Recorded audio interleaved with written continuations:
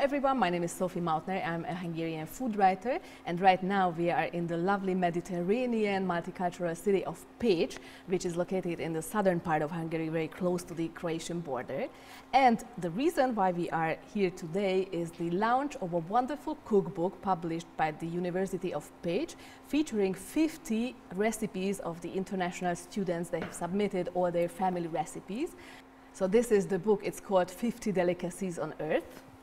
Has this wonderful cover. And today we are going to cook some Nigerian food, which is really special even for me. So it is my great pleasure to introduce to you and to welcome Misitura Abdulraheem, who is the Deputy Ambassador of Nigeria to Hungary, and Samuel Akinola, Sam, Sam. who is the student who actually submitted uh, the one of the dishes uh, featured to be featured in the cookbook. And we also have local chef Akos Lokodi, who is the real hero of this book, I think, because he's the one who actually cooked all the 50 dishes uh, partly together with the students, also with you, right? Yes, you were we also yes. cooking some with, with uh, what did you cook? Uh, the- you, you cooked this special dish which we are going to do? You know, I did um, egusi soup. Egusi soup? Egusi soup. Yes. Okay, but to, today we are not going actually to do yeah. egusi soup because probably it, it was very complicated And to. it takes time. Like It it, takes takes too long to make. Uh-huh. So So what are we cooking today? yeah, we're making yam porridge. Yam porridge. Does Yes. it have any special Nigerian name? Yeah, just oh okay. Sometimes we call it asaro, Uh-huh. like from the southwestern part of Nigeria. okay. So that's the name. We call it asaro. uh-huh. so- Asaro. Yes. hmm Okay. And why did you choose this particular dish? Actually, the thing is, uh, it's like one of my favorite dish. I like it very much, Uh-huh, especially probably in the afternoon. I like taking it in the afternoon, Uh-huh. and um, it is very easy to make. Mhm. very easy and uh, the things it's comprised it comprises of the the stockfish some, Uh-huh. sometimes we put the shrimp sometimes we put the um, like different vegetables you can put vegetables and uh, the yam the yam is the main Okay, let's say this. I mean, you know, all these ingredients, there are some special ones, and this is, can you please present this uh, ingredient? okay no it's it's like it looks very um, like it's unique because it's not common it's not in hungary Uh-huh. so it is It's yam. yam yeah, it's, yeah, yeah Yam. yam tuber so it is very particular to nigeria Uh-huh. So there's a way we grow it. We um, it's from the ground. It grows from the ground. So Uh-huh. So it's yam, a root, right? It's a yeah, root. yeah, uh-huh. it's, it's a root. Um, so we can make this yam into different things. We can make pounded yam from it. We can make chips, even the chips. We can Uh-huh. make many things from the yam. Uh-huh. So that's why it's very like it's very good. Uh-huh. Like different varieties from it can be good. Uh-huh. What are you going to do with that? I just want to cut. Uh-huh. Cut. Okay. And Misitura, you mentioned before that if you that, that the peel when peeling the yam, it can uh, itch or it, it, it can hurt somehow or the, the, the, the skin. How does it come? Yes, the yam, it's a very popular food. It's like you rightly mentioned before, it's a root too. Uh-huh. It's very similar to mandioca, Mhm. but it's the bigger one. Uh-huh. Sometimes it can be as long as two centimeters. So it's uh, very famous in the sub-Saharan West Uh-huh. African countries. With uh, neighboring countries too, they consume it. Mm-hmm. But unfortunately, it's so scarce. Uh, it's not very popular in the other part of the world. Uh-huh. So, but we cherished it as a matter of food. It's like the king of the tuber. Ah, okay.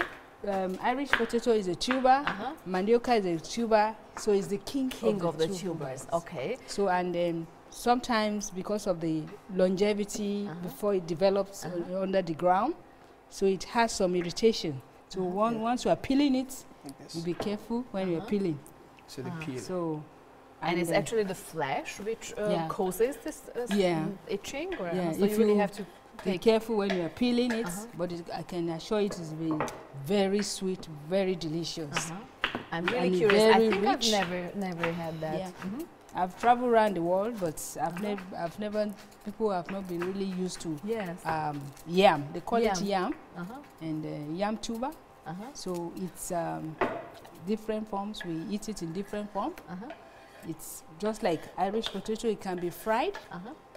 And as, I, as far as I see it, it has quite a high like starch starch content. It's It very has starchy. high, very, starchy. starchy. That is why the African people Mhm. are more bulky because Uh-huh. it's, it's rich in It's yeah, starch. Yeah, I see it how, how it looks. It, you can see that it has this high starch, uh, star, uh, starch content. Misitura, uh, can you tell me a little bit, uh, uh, a little bit, a few words about Nigerian or West African uh, cuisine?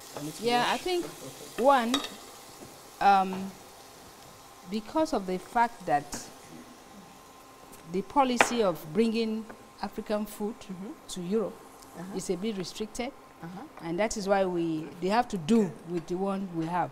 That is why it's not very common. Okay, so it's, it's, uh, basically because of the ingredients. You think? Yes, yes. Mhm. So and um, but with the, uh, with this yam, fortunately, most of the I from E- England, United Kingdom, Uh-huh. Vienna, and most of the European country, they find their way to import the Uh-huh. this food type of food Uh-huh. for the African living in Europe. Uh-huh. uh-huh. So therefore, they cherish this food and it still find its way to come to Europe. Mhm. So people consume it because of the affiliation. Uh-huh. It is their custom, so they still imbibe in eating this food, and one way or the other, it comes to Europe. Uh-huh. Do you actually cook at home? Yes, Yes. This also this one, Definitely. the yam porridge. And and what's your favorite favorite one? To be because it's the king, Uh huh. it's bec- is the king of uh, Tichuba. It definitely one. is one of is my favorite, Cool. and it can be turned into pounded yam. uh-huh. As a matter of fact, there's an engine Uh-huh. that uh, we, we have so many machine that can Uh-huh. pound it. You can Uh-huh. pound it manually. Yes. After boiling it, Uh-huh. you pound it, then it becomes puree, Uh-huh. hard, hard puree. Uh-huh. uh-huh. You know puree? So it's like a paste. Yeah, A paste, but Uh-huh. hard paste. uh-huh. Hard So paste. yeah, and uh-huh. it is- can be eaten with some vegetables Uh-huh. and egusi and sort of um, Uh-huh. some draws, even with okra. Uh-huh. With so okra. yeah, and these things can be found in most of these uh, Eastern Uh-huh. European countries shops based in Europe. Uh-huh. Cool. The Pakistan shop, the Indian shop, and some they African carry people too. Mhm. They import it, and the Caribbean. So and it's also very common with Mhm. the Caribbean, Mhm. Caribbean countries. Yes, very nice. And I, I guess you can't eat it raw, right? No, no, No, no. So it's, it's a really high high in Yeah. starch content. So- Saman, do you And- actually cook cook? Do you actually cook at home? Yes, Yes? actually, the thing is, when I was in Nigeria before I came Uh-huh. here, I always like I always um, like go with my my mother in in the kitchen. So I always look at her whenever she's cooking, but I didn't touch anything Uh-huh. because I think she was she was the only female in the family. Uh-huh. So I just go there and assist her and pick some things, give her the things Uh-huh. she needed. But when I got there, I needed like I needed to start Uh-huh. cooking on my own because Okay. nobody would cook for me. So Yes. I had to start So you had cooking. to cook for Yeah, sure. yourself. So, but since then I've been like, I came here um, 2017, so I cook every day, Uh-huh. Uh-huh. and I like cook it. every day? I cook really? every day. Yes. Wow. I try to find time for it because if I Uh-huh. don't cook, then I won't be able to go to class. Yeah. Uh, And what kinds of uh, food do you cook for yourself? oh, most of the time I cook. I like eba very well. Eba.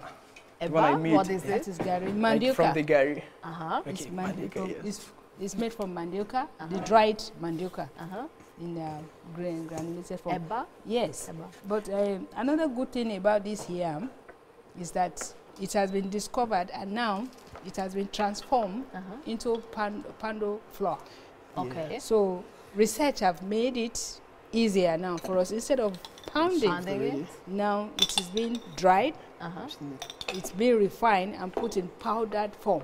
Okay. And you you have you, you have access to that powder, or you yeah, can it's, buy it. it's all over. Sure, yeah, it's, it's, in all. it's, it's on Pécs. it's- even in Pécs, Yeah, you can even buy in it. Pécs, How yes. cool. Enjoy. It's, Okay. uh, it's, So, more, it's, it's rec- very easy. internationally recognized. Uh-huh. The, yes, the, the definitely. powder, the powdered one now is Uh-huh. recognized because Uh-huh. it's it's it's um when you do instead of pounding, it's make it easier. You Mhm. just mix it in the hot water it with- uh-huh. and it comes out. like out an instant instant uh, Exactly. yam porridge or yes. And it's very easy and very fast. uh-huh. So within probably 15 minutes. you you're have done. it. Uh-huh. That's it. Cool. And how do you like Pécs?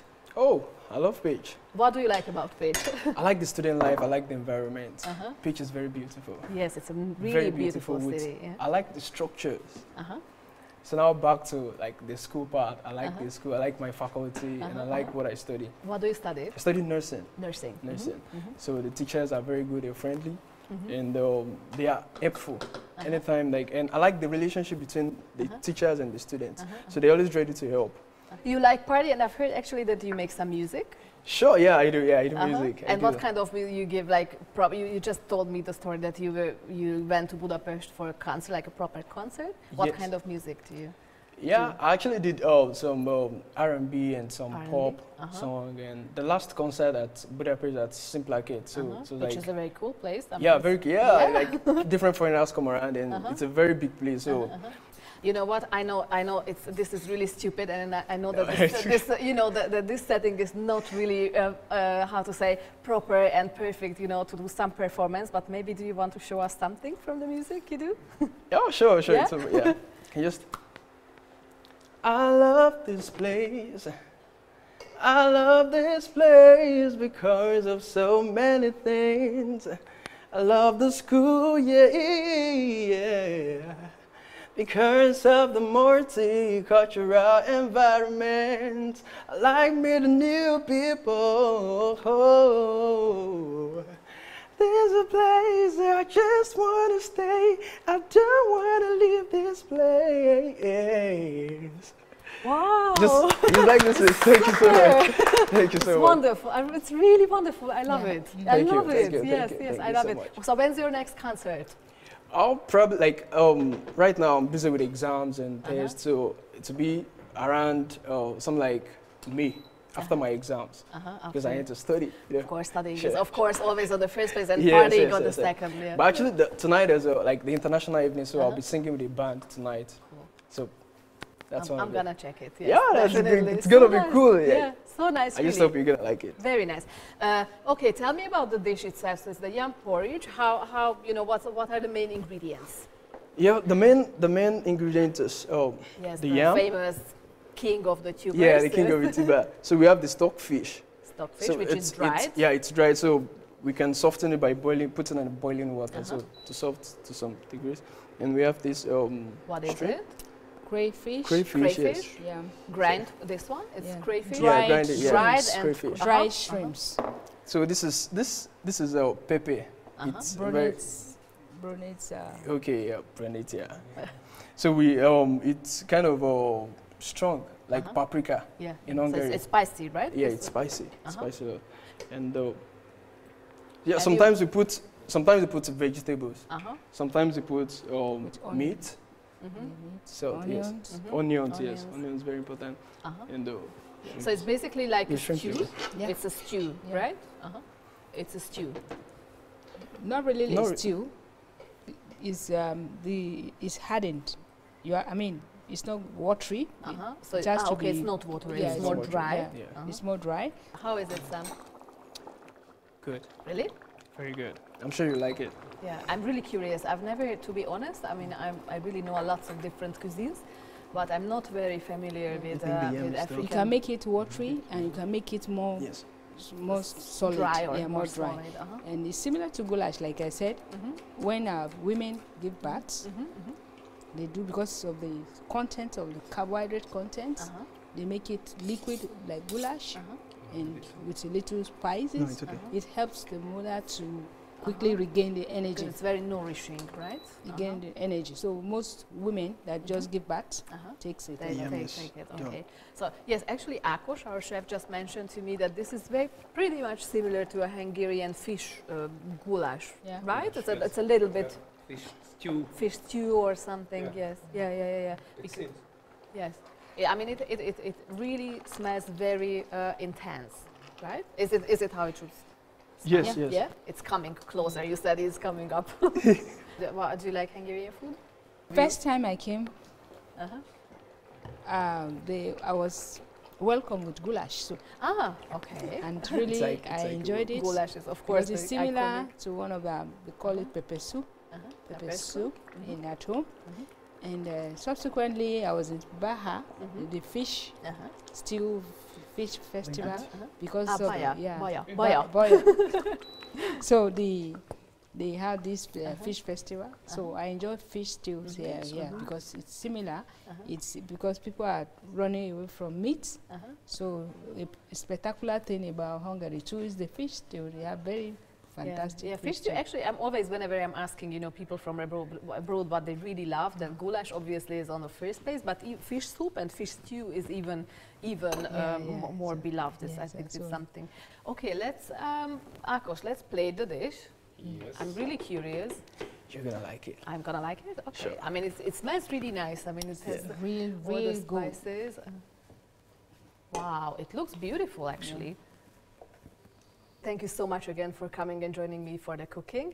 And once again, there is this wonderful book called 50 Delicacies on Earth, published by the University of Pécs, featuring 50 wonderful family recipes submitted by the students, among others also Sam, with this lovely, lovely yam porridge and the egusi soup, which sounds very interesting, but I might try it. And um, yeah, let's do some cooking together. And let's try it. Sure. It looks really, really nice. Mm.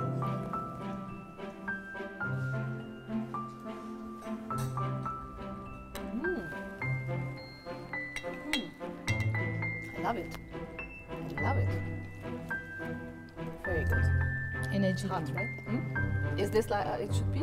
Energy given, yeah. Mm. It's good. It's good. I love it.